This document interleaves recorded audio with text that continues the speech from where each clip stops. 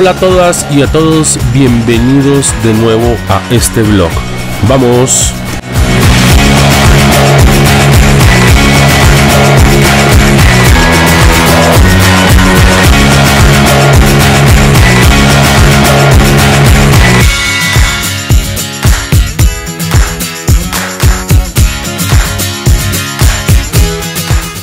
Bueno, comenzando con este primer caso, es un caso de una es obvio una neumonía severa. Generalmente las personas piensan que porque el animal está respirando con la boca abierta, puede ser que tenga algo dentro de su sistema digestivo superior, pero pues es, eh, digamos, y les estoy contando que es obvio que es un problema del sistema respiratorio inferior, porque está obligado prácticamente o el cerebro le manda la señal para que respire por la boca y está salivando obviamente porque tiene la boca abierta y esa es la razón por la cual tiene cialorrea. Eh, es una historia de una ternera que presentó eh, esta sintomatología de enfermedad respiratoria severa de forma muy rápida y nosotros estamos pensando que fue asociada a alguna bacteria que ingresó a la finca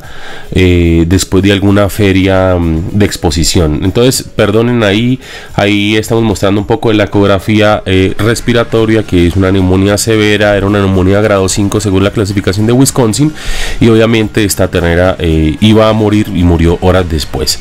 Em, entonces lo que nosotros procedimos a hacer fue comenzar a hacer una serie de ecografías para evaluar en qué momento o a qué edades era que encontrábamos algún, algún patrón, si era que lo íbamos a encontrar, de afección del pulmón en estos animales. Entonces estamos viendo ahorita este animal con una condición corporal muy buena, ¿cierto? Ya es un animal prácticamente de cuatro meses allí, crecen las trenas muy bien porque tienen eh, una crianza excelente, como lo pueden ver ahí, las condiciones medioambientales son bien favorables. Y eh, estamos mostrando esta ternera porque ustedes la ven, es una ternera totalmente asintomática, con una excelente condición corporal, con una muy buena ganancia de peso.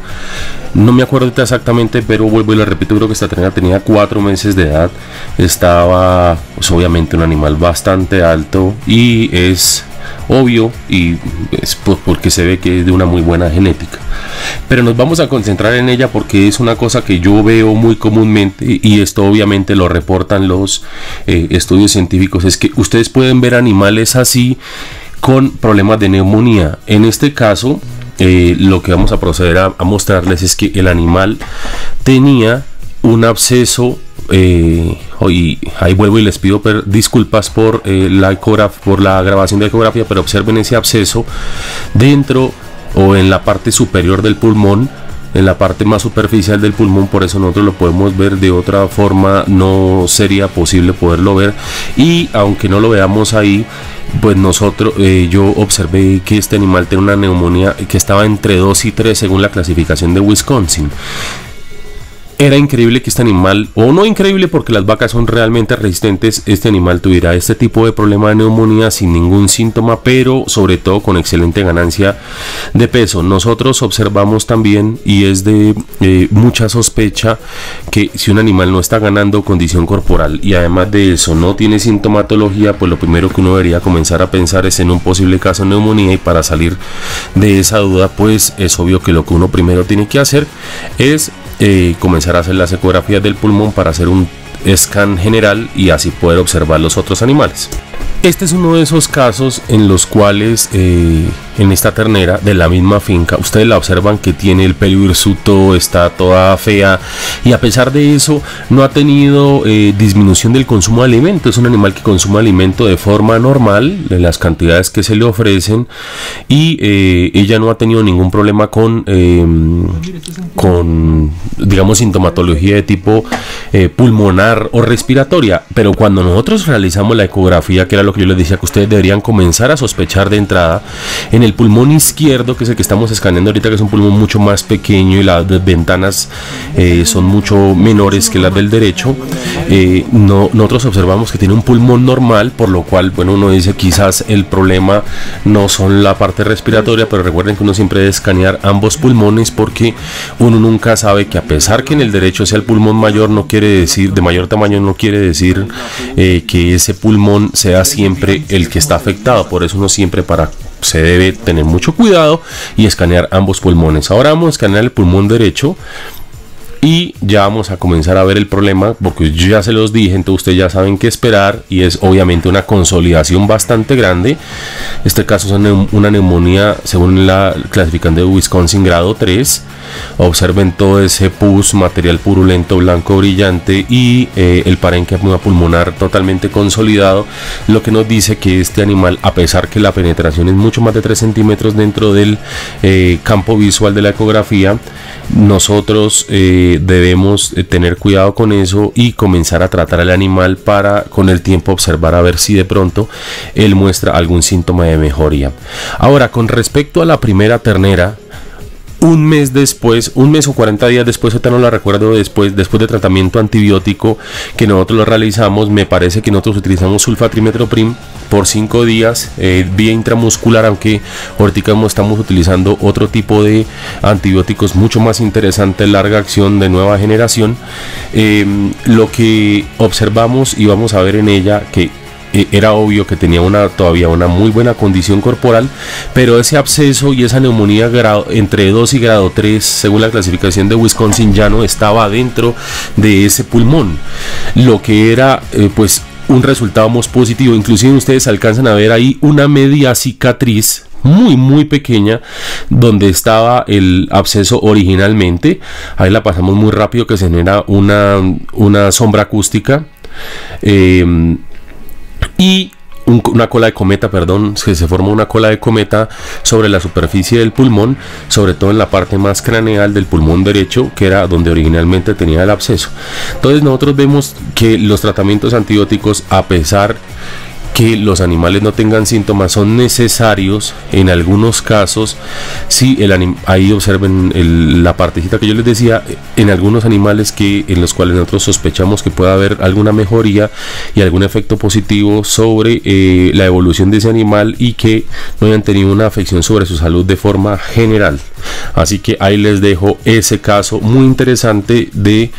un brote de enfermedad respiratoria en una finca con muy buena genética y muy buen manejo y eh, con muy buenas instalaciones. Ah, y antes que se me olvide, también vacunamos los animales con unas vacunas que tenemos nosotros aquí disponibles en Colombia para controlar bacterias de tipo respiratorio como eh, Pasteurella y hemimolítica.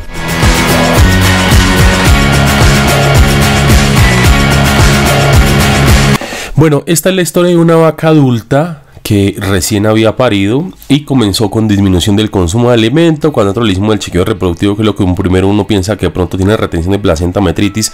estaba perfecta, pero cuando ya la cogimos y le hicimos un examen general, aquí estamos con las estudiantes de esta finca en particular, em, tenía una patología un poco inusual que es el desplazamiento de abomazo a la derecha. Entonces el desplazamiento de abomazo a la derecha es una situación un poco compleja que generalmente termina en cirugía o eso es lo, que recomienda la literatura, pero nosotros, o por lo menos yo me he arriesgado a hacer una serie de situaciones que ya les voy a mostrar qué es lo que yo hago para que el animal no vaya a cirugía. Ahora, si con esto el animal no se mejora, eh, es obviamente es obvio que debe ir a cirugía porque si no el animal va a morir. No necesariamente en poco tiempo, pero si no le hacemos nada, las complicaciones de salud van a ser muy severas. Entonces lo que estamos haciendo ahí es obviamente escuchando el ping que no debería estar jamás ahí en esa parte del abomazo. Entonces, eh, perdón, de esa parte del abdomen del lado derecho. Estamos, recuerden que el ping en el lado derecho del abdomen pueden ser diferentes tipos de órganos, pero en este caso nosotros diagnosticamos que fue el abomazo apoyándonos también en la ecografía. Entonces nosotros en este momento estamos viendo la interfaz gas líquido, que ahí no se ve eh, perfectamente, pero ahí ya se las estoy mostrando la interfaz gas líquido con la flecha lo que nos ayuda a nosotros decir desde dónde va ah, el gas hacia arriba y desde dónde va el líquido hacia abajo para el procedimiento que nosotros vamos a realizar. Lastimosamente aquí estaba haciendo mucho mucho sol entonces el reflejo de las personas se ve ahí sobre la pantalla pero lo que yo quería mostrarles ahí era cómo se veía el ahomazo que jamás debería verse en esa parte superior o muy dorsal desde la parte ventral del abdomen. Eso lo que quiere decir es que está acumulado y lleno de líquido porque no está evacuando lleno de líquido y de gas obviamente lo que hace que el animal no tenga un tránsito normal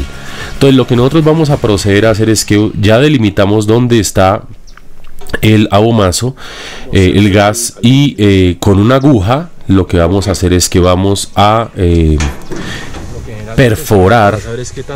y vamos a tratar de evacuar la mayor cantidad de gas que tenga la vaca en ese punto para que ese abomazo disminuya de tamaño debido al peso que tiene, comience a disminuir y a irse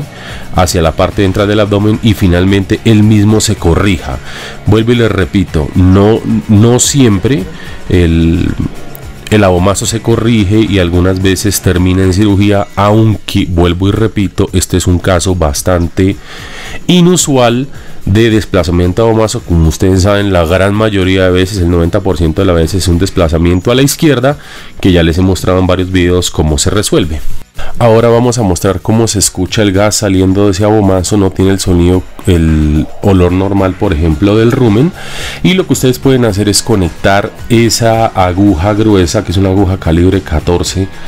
eh, aproximadamente 2 pulgadas y media de larga, em, a una manguerita que está llena, que puede ir a un vasito lleno de jabón para observar las burbujas del gas.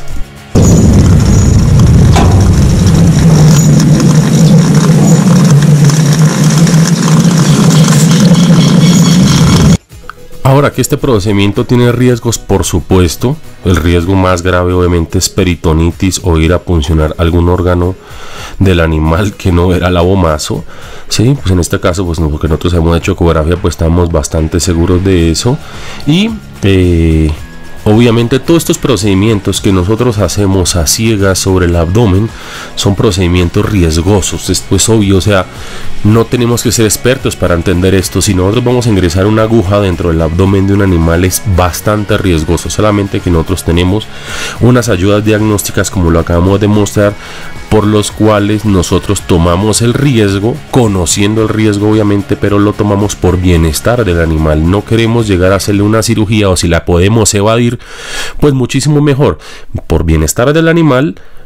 eh, evitarnos eh, un gasto excesivo, un costo adicional para la finca y de esa forma pues mejorar la producción eh, de la finca general. Entonces nosotros debemos entender todas estas situaciones. Ahora les voy a mostrar lo que sucedió días después. Al siguiente día la vaca es evidente, como lo ven ahí, que no se siente bien. Ella quiere comer pasto, pero no, no está comiendo bien pasto. Eh, ella trata, pero pues es obvio que no está en su mejor ánimo. Obviamente aquí uno ya se comienza a preocupar, uno dice, bueno, diablo, lo que hicimos no está bien. Y es obvio que también le pusimos antibióticos, obviamente como profilácticos para evitarnos pues, algún problema. Pero días después observen estos chats eh, con las estudiantes eh, ya la vaca comienza a mejorar de forma muy dramática. Algo muy interesante y es una de las cosas que uno siempre espera en desplazamiento es que el ping, en este caso en el lado derecho, pues se vaya de la vaca, no esté más presente. Y yo siempre los presiono para preguntarles a ver si el animal se salva o no se salva según el criterio que ellas tengan médico. Obviamente les falta experiencia, pero pues uno ve el animal en sí y es evidente que el animal aquí ya tiene una mejoría bastante notable que pues le deja a uno pues una gran esperanza que quizás se vaya a salvar de la cirugía y que el riesgo que nosotros tomamos pues fue algo bastante positivo. Eh, a mí se me olvidó decirles que nosotros habíamos desinfectado bien con yodo y con alcohol la zona a pesar de que no la depilamos eh, la desinfectamos bien. Y observen ya aquí ya el vigor con el cual la vaca ya está tratando de comer el escaso pasto que hay en este momento en Colombia por los problemas que tenemos de comida. Y este video que va a pasar a continuación ya es un video ahorita último de la vaca de los últimos días en ustedes la observan ya es una vaca normal, que está bastante alerta, que está pendiente de su medio alrededor, observen cómo tiene las orejas bien paradas, está escuchando todo lo que le está pasando, es una vaca, así es como se comporta una vaca normal eh, no permite que se le acerquen las personas lo suficiente. Es obvio que ahí el video es un poco más difícil de grabar porque miren la vaca trata de escapar. Miren cómo tiene la ubre. Pues esta vaca obviamente está recién ordeñada, pero miren cómo tiene la ubre bastante eh, llena, digamos, entre comillas, para... Mm, y lo que nos indica que la vaca está comiendo bien, eh, por lo cual aumenta o tiene la producción de leche que debería tener para una vaca recién parida. Entonces quiere decir que este procedimiento arriesgado que hicimos resultó bien y que es posible que ustedes lo puedan hacer. Ya saben que si no funciona bien, pues quizás la vaca se vaya para cirugía y pues, tenga una complicación mayor, pero si no hay nada más que hacer, pues para cirugía, cirugía irá. Bueno, y en este caso la situación salió bien aunque aquí como lo podemos ver en el monte, en el bosque enfrente de la finca de nosotros, no hay nada bien. Observen como las personas irresponsables, eh, yo no sé qué les pasa por la cabeza, sabiendo en el momento que estamos tan crítico, se les ocurre hacer fogatas o cuestiones y observen obviamente por la resequedad del terreno cómo se extienden estas famosas fogatas causando incendios monumentales eh, que son extremadamente difíciles de controlar para nuestra situación aquí en la zona donde nosotros estamos. Ahí podemos ver un poco lejos los bomberos, eh, obviamente unos bomberos tratando de combatir contra semejante incendio. Este incendio requería de la ayuda, en este caso sí de Dios que lloviera. Finalmente llovió y se logró extender. Para el próximo blog tenemos una situación un poco compleja, ya la van a observar, no siempre los procedimientos salen bien, no siempre las cosas salen como uno las espera